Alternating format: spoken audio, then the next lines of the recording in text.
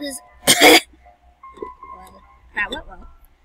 So today I'm just gonna show you how to change animals in Farm World on Roblox.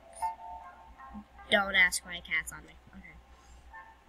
So first, go to the shop and then you can buy one of these animal packs, but you don't know what animal you're gonna get.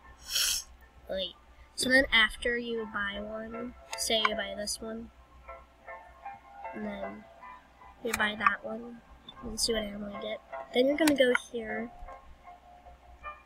and then we're gonna go here though. Then go to there.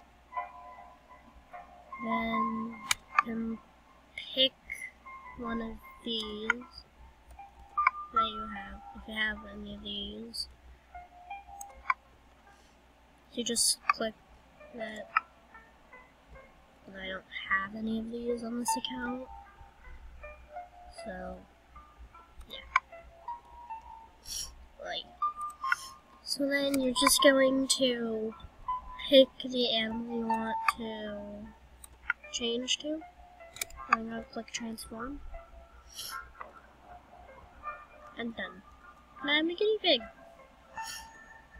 And then, while you're playing the game, you're gonna earn money. So just do that. Um, yeah. That's it. Bye. Okay. That's it.